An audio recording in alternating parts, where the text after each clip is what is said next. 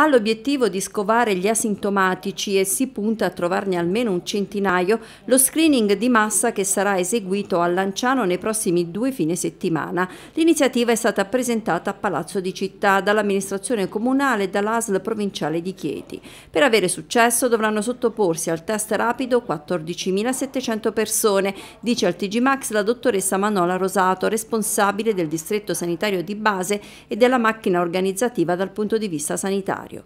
Lo screening è gratuito ed è aperto non solo ai residenti, ma a tutti coloro che lavorano e studiano a Lanciano o che raggiungono la città per motivi familiari o sociali o altro. L'importante è avere più di sei anni di età.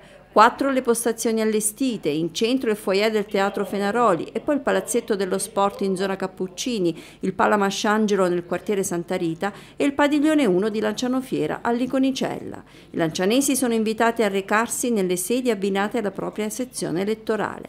Non sarà necessario prenotarsi, ma soltanto riempire un modulo di adesione con i propri dati anagrafici e portare con sé la tessera sanitaria valida.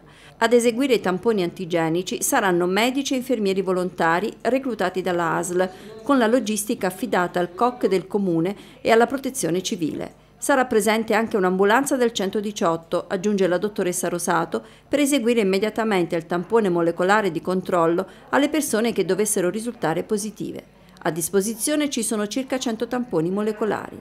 Infine, sui positivi identificati verrà eseguito il sequenziamento da parte dell'Istituto Zooprofilattico di Teramo per ricercare eventuali varianti del virus. Lanciano, insieme agli altri sette comuni della provincia, è ritenuta ad alto rischio perché, perché i dati epidemiologici finora eh, emersi ci documentano eh, questo. Eh, quali sono gli elementi che ci hanno consentito di individuarla tale?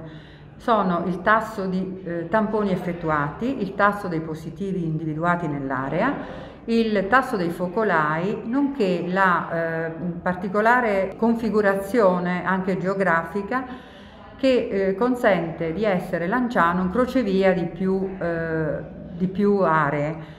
Infatti sul Lanciano troviamo eh, attività commerciali di grosso interesse per, la, per, il circondario, abbiamo l'ospedale, le scuole, quindi eh, sul Lanciano convergono eh, tanti cittadini che per motivi di lavoro si rivolgono presso il nostro comune e quindi dobbiamo intercettare il più precocemente possibile gli asintomatici che circolano tra di noi in maniera tale da interrompere la catena di trasmissione.